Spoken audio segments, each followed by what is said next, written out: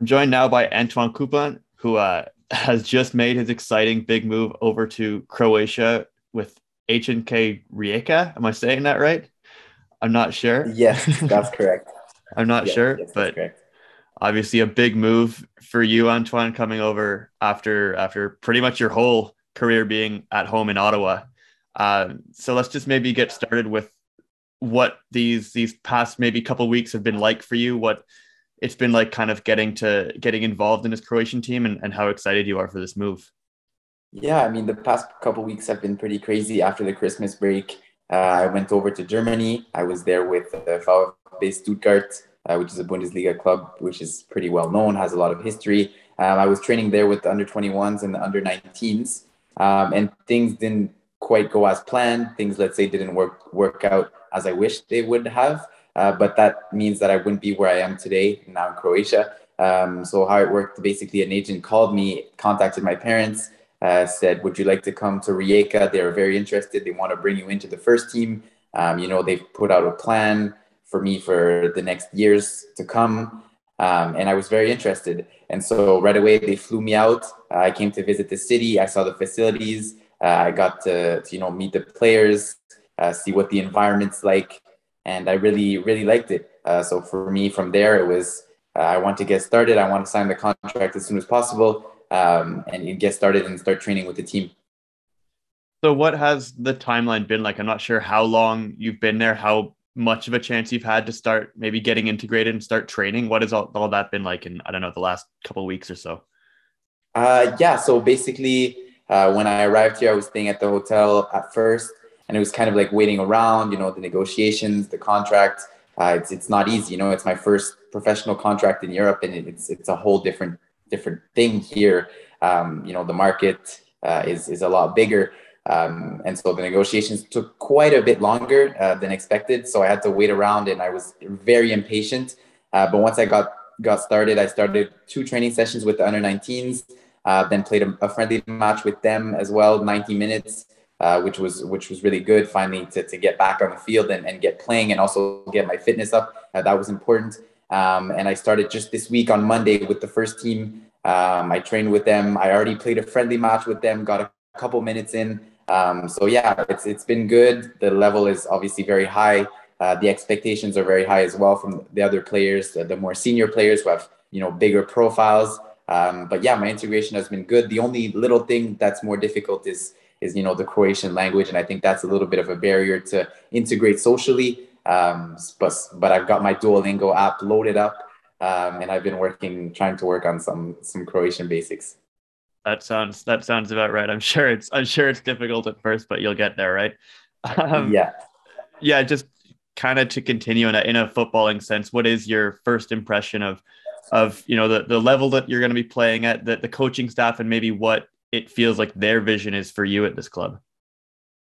Yeah, I mean they made they made it very clear. I think the first couple of months uh, it's going to be an, adaptation uh, coming from Canada to Europe, uh, not only on the football footballing side of things, but also you know living my my own apartment, living away from home. Like you you mentioned before, I've been in Ottawa for the past three years uh, playing professionally, and now moving out. I mean, I'm finally 18. This is what I have wanted. This is what I've been dreaming of.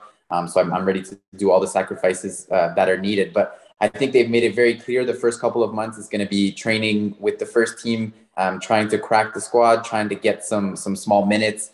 Um, obviously, if I can um, prove myself uh, enough, and also playing uh, regular, consistent minutes with the U19s, and from there see what happens in the in the second year. Um, so yes, yeah, so I think they made it very clear. The coaching staff, you know, they believe in me. Um, I've spoke to them. They, they've they've been very welcoming. Um, I've also gotten a lot of feedback in in the past three days, just just off of training um, and the friendly match we've had. Um, so yeah, and, and the level the level is very high. The players are, are have very high profiles. You know, some of them coming from Manchester City, another high profile from Bundesliga with Mainz. Um, so they're very high profiles in the team and a lot of, of, of quality players. Yeah, it seems like it. It seems like this is quite a good club in Croatia, right? You guys are in a title race at the moment, which is exciting, and there's there's European spots on the line, so that's all got to be exciting as well for you. Yeah, for sure. I mean, playing in a European stage would be would be a dream of mine, um, and I'm only here to you know help the team achieve that uh, for next year. So whatever it might take. You know, being that extra man in training to fill in the spot for the 11. As you mentioned, Antoine, obviously this is kind of a big move for you, a big leap to kind of go to Europe and go to this new level after, as we said, playing your whole pro career in Ottawa in your hometown. Uh, just yeah. why why do you think that it was the right time for you to make a move like this? Why were you, you know, just so comfortable with kind of making this big move at this stage of your career? Yeah, I think it, it was always a dream of mine to play professionally in Europe. And, and not only that, but I think the club is, is really the right club for me. Um, you know, the, the Croatian league has a lot of history in selling players. Uh, if we take example of Dani Olmo to, you know, and using it as a stepping stone to get to the next level into the top five leagues, for example, in Europe. And I think uh, to be able to achieve my dreams and not only that, but to play for the national team as well, I think you have to make that step to Europe and make eventually make that step to the top five leagues. Um, so I think this is just a stepping stone. Uh, Rijeka is a club where they provide a, a, lot of opportunities for young players to play, um, to show their talent, to show their quality, and to make the next move into the top five leagues uh, in Europe. Absolutely. And just maybe finally, what are you gonna when you when you look back on your time playing in Ottawa, playing in a CPL for Atletico Ottawa, and even for the Fury and all that, what are you going to remember and appreciate most from your time playing in your hometown as you kind of move on to other stages of your career? I think definitely, you know, the many moments that I've lived uh, at TD Place, uh, for example, from my debut to my first goal at TD Place, to just in general, the atmosphere, the fans, they've always been behind us. Um, they've always been so supportive. And they're also, you know, we can have a, a genuine relationship with the fans. We can connect with them. Um, so I think they they played a big role in within those three years. Um, and I'd say another thing as well is, is you know the relationships that outside um, of the field, outside of the pitch, the relationship that I created with some of my teammates um, who are now some of you know my best friends who I speak to on a regular basis, um, who you know I have FaceTimes with, um, and through the ups and downs as well, they can help me. Uh, they can guide me for some of the older players like Chris Mannella or Drew Beckie, you know Brian Wright or Dylan or some of those guys to, to help me and guide me um, through you know their their experience as well, their their past um, in in soccer. Absolutely. Well, Antoine, I'm sure everybody back in Ottawa will be watching closely as you get involved with this club in Croatia and, and start this new chapter of your career. So, congratulations again. Thank you so much, Fernando. This is this has been a, a very very interesting, exciting, challenging. I'm sure off season for Atletico Ottawa. Um, but let's maybe start with before we get into some of the players that are coming in. Let's start with one player that's departing the club. Let's, let's talk a little bit about Antoine Coupland, who obviously raised in the Ottawa region, played a significant role for the club in 2020, 2021. Um, but he's recently recently moved to Europe, signed in Croatia with with Rijeka in the Croatian league. Um, maybe Fernando, you can just speak a little bit about you know Antoine's time with the club and and just what it means to you guys, to Ottawa, and to the city as a whole for a player of Antoine's caliber to to move on and move up to Europe? Well, first of all, I'm going to start by saying that uh, we are very, very happy for Antoine because I think this is a huge step on uh, on his career uh, as a person and as a player. Because I think that uh, you know right now he's going to live uh, abroad and uh, experience a complete different you know football and and living out of his comfort zone, even if he was in a comfort zone here uh, but I think it's a it's a huge step for for him, uh, for the league, for our club, and uh, it shows that uh, you know uh, here in Canada in, in the CPL there are a lot of talented players, young players that as Antoine can have an opportunity abroad. since the moment that we launched the club back in 2020, I think uh, we acknowledge the importance of have uh, local players like Antoine in our in our roster. Uh, I think that once I remember then one, the first time that uh, he signed his professional contract, uh, he was uh, I think 16 years old uh, with, us, and he was the youngest uh, CPL player on that year. And since that moment until last season, I think we saw a clear evolution on on his his performances as a player, on his body. Uh, I always told him that uh, we catch him as a as a kid, and now we deliver it as a man because it is true that at that age, you know, his body uh, grows continuously. Uh, and uh, last year, when he arrived for preseason, he he really looked like uh, you know he was uh, two meters tall and uh, and stronger and faster, and and he was really a, a, man. And I think that it, that really drive him during the season and uh, we are so happy that uh, you know he has made this uh, this step on his career. These sorts of moves are important for the CPL and for the clubs, right? Just for players who are local to come up and, and get their start with CPL clubs and then move on as you know many players want to, right? This is important for the league and for the club, right? Yeah, I think it's key. It's one of the goals and the mandate that we have as a club in league. Uh, I wish that he could have stayed with us a little bit longer uh, but um, it is true that you know uh, when uh, when the call comes, you know, and uh, and when you are ready, doesn't matter if you are 18, 20, 21, 26. You know, I think uh, that opportunities are there to be taken, and uh, I'm really glad that Antoine had this chance. I know that is something that it was always in in his mind, you know, to to play abroad and to start his career uh, uh, out of uh, the country and explore other opportunities. And uh, I'm glad that uh, you know we could uh, provide that platform for for him and for many other players that I'm sure that it will follow follow Antoine.